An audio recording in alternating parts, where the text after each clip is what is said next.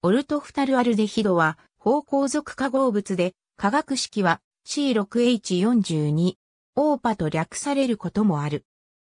C6H42、C6H42、C6H42 オーパは紫外線や空気酸化に弱い。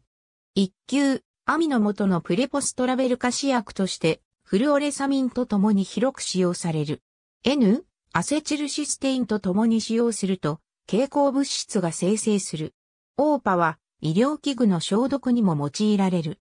日本では高水準消毒薬としての2001年の承認以降0.55%のフタラール製剤がジョンソンエンド・ジョンソン社から市販されている。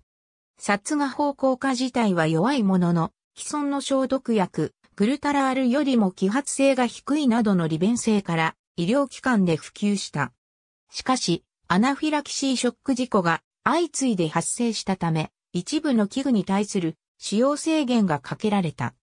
使用時には、名の飛散に対する注意、グルタラール用マスクゴム手袋の着用、換気が必要である。ポリフタルアルデヒドは、フォトレジストで用いられるなどの用途がある。ありがとうございます。